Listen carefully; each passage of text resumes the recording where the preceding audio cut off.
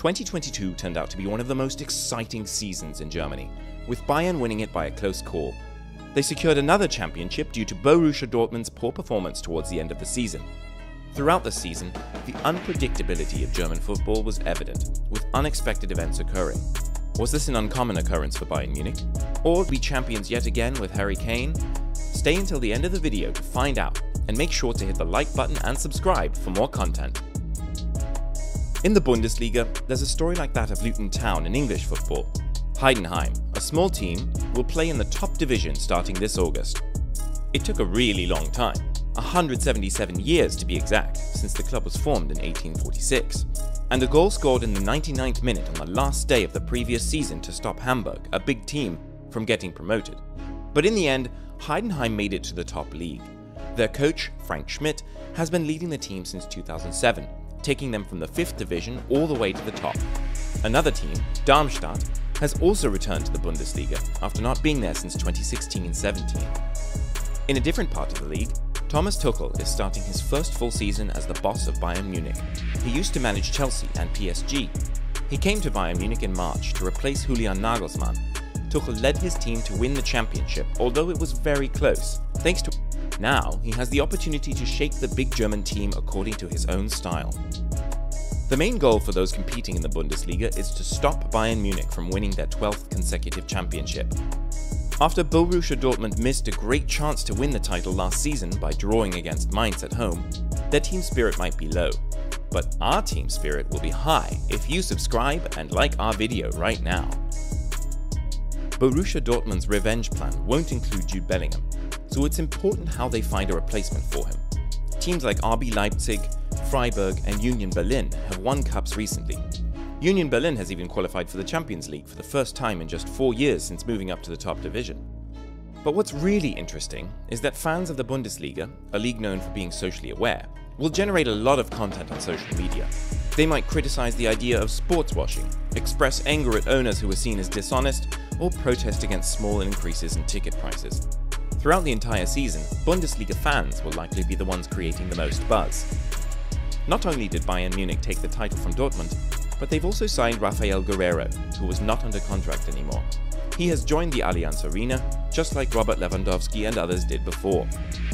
The champions, Bayern, have also brought in Konrad Laimer from RB Leipzig, Leipzig lost Christopher Nkunku and Dominik Szoboszlai, but they borrowed Fabio Carvalho from Liverpool and bought Christoph Baumgartner from Hoffenheim for £20 million.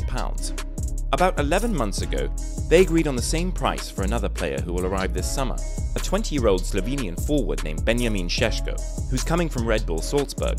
Quick question. Do you know which Premier League team wanted to sign Benjamin Šeško?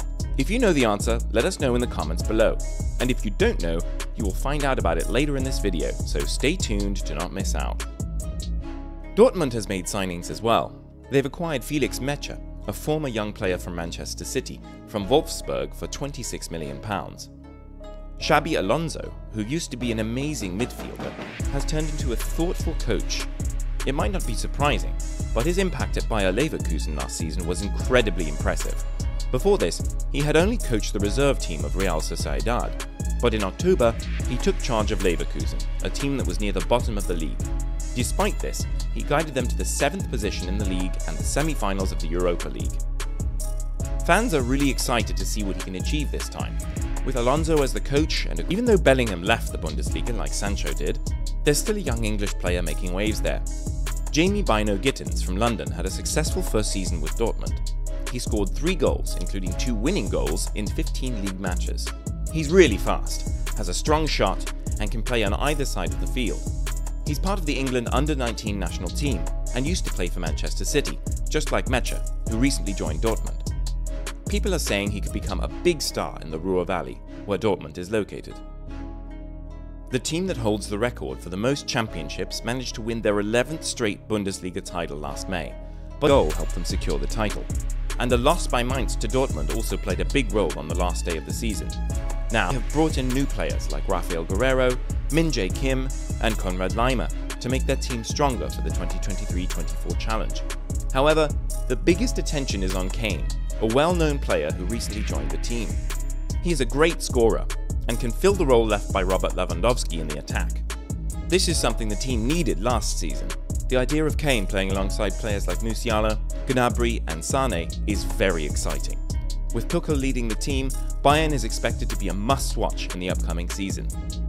Keep an eye on Marco Rose's exciting team from Saxony. People were talking about a transition phase for Leipzig this season, but those thoughts were quickly dismissed after their impressive performance in the Super Cup against Bayern Munich. Led by Dani Olmo, Leipzig played with quick and stylish attacking moves, causing problems for Bayern. New players like Xavi Simons, Loïs Openda and Benjamin Šeško got fans excited about what's to come for last season's third place team in the Bundesliga and winners of the DFB Cup. But the real star might be Olmo, who scored three goals in the Super Cup and seems to be getting even better. Leipzig had good wins against the top two teams in Germany last season and almost competed for the title. They started this season strongly by winning the Super Cup, and with Rose as the coach for his first full season, it's possible that we might see a team other than Bayern or Borussia Dortmund win the title for the first time since 2008-09, when Wolfsburg won. Frank Schmidt was already in charge of Heidenheim for about two seasons when Leipzig started in Germany's 5th division in 2009. He later faced Leipzig while coaching in the 3rd Liga and Bundesliga too. Now he gets to compete against them in the top league because he led his beloved club to the Bundesliga for the first time. Their journey was tough. They scored two goals in extra time on the last day to disappoint Hamburg fans who thought they were getting promoted automatically. Some newly promoted teams have gone back down right away, while others have established themselves in the Bundesliga, like Leipzig, Hoffenheim, Augsburg, and Union Berlin, who had a great story last season. Freiburg, coached by Christian Streich, also went down in 2015-16, but came back stronger. Kaiserslautern even won the title in 1998, just a year after getting promoted. I'm not saying Heidenheim aims for the same, especially since their stadium is the smallest in the Bundesliga this season. So, Heidenheim's first season in the top league will be watched closely, Frank Schmidt is the longest serving active coach in Germany, and Heidenheim's home ground can hold 15,000 people. The answer to our quick question is Manchester United. Red Devils scouts were keen on the young Slovenian, but the transfer never became a reality. The Bundesliga, Germany's top soccer league, had an exciting season in 2022-23. The competition for the title was really prizing rivalries for the top four spots, intense fights for European places, as well as exciting battles to avoid relegation and get promoted. The race for the top scorer was also open and exciting. The Bundesliga performed really well in many aspects, like having lots of goals in each game and high attendance at matches. As it celebrates its 60th year, it's expected to continue this exciting trend. So, whether you're a long-time football fan, looking for a new league to support, interested in passionate fan culture, searching for young talents for your football manager game, or just wanting to have a great time, the Bundesliga has something for you. It represents football as it's meant to be played and enjoyed. Which team are you keen on watching this season in the Bundesliga? Let us know in the comments below, and don't forget to hit the like button and subscribe for more.